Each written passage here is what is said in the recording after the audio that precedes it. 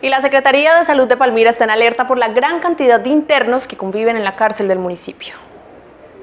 Quien viva, dormimos todo en el suelo, dormimos cuatro o cinco por celda, solo hay dos o tres baños para 200, 300 personas. Actualmente en el centro de reclusión se encuentran 2.476 internos, cuando la capacidad de este penal es de 1.256, es decir, un hacinamiento que supera el 80%. A esto se suma el traslado de las personas indicadas que permanecían en las estaciones de policía de Palmira. No están recibiendo las personas y tenemos nosotros más bien asignados más de 150 detenidos en las diferentes estaciones de policía urbanas y rurales del municipio de Palmira.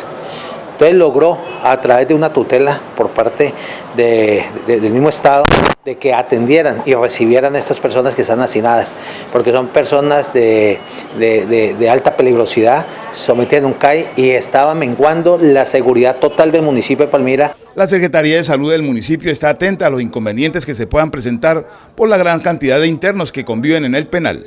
Se encontraron pacientes con tuberculosis. Estos pacientes pues, están recibiendo el tratamiento de manera oportuna en articulación con la fiduprevisora, que es la, la encarga de contratar el personal de enfermería y personal médico para brindar la atención al interior de la cárcel.